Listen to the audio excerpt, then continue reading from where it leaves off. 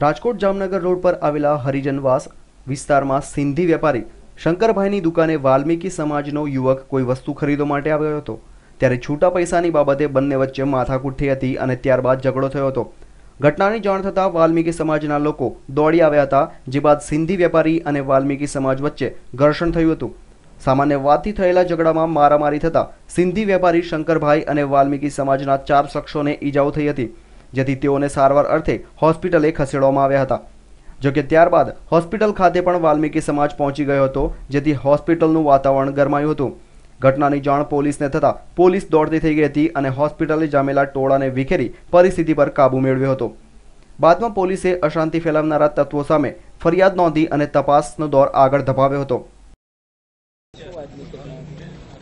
આજે રાતના લગભગ સાડા દસે વાગ્યાની આસપાસ તોપના પાસે વાલ્મીકી સમાજના લખણ, નરેશ, એ લોકો અને શનિ, એ લોકો વાલ્મીકી સમાજના અમુક છોકરાઓ સાથે ઝઘડો કરી, તેમની સાથે મારામારી કરેલી, જેની સમાજના બીજા લોકોને ખબર પડતા આ લોકો મારીને જીટીસી દવાખાના તરફ જતા હતા. જેથી લોકોએ તેમનો પીછો કર્યો અને લખન શનિ અને એ લોકોએ પણ બીજા લોકોએ ત્યાં તેમની સાથે મારામારી કરેલી.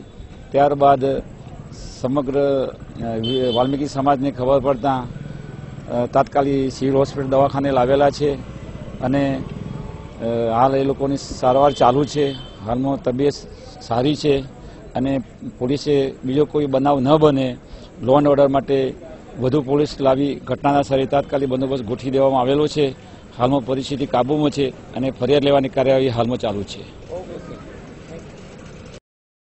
છેલ્લા કેટલાક સમયથી રાજકોટમાં કાયદાને ઘોળીને પી જનારા અસામાજિક તત્વોનો આતંક ખૂબ જ વધી ગયો છે. ત્યારે ફરી એકવાર રાજકોટની શાંતિમાં વિક્ષેપ ઊભો કરતી ઘટના બનતા પોલીસે ચોક્કસ દિશામાં તપાસ હાથ ધરી છે.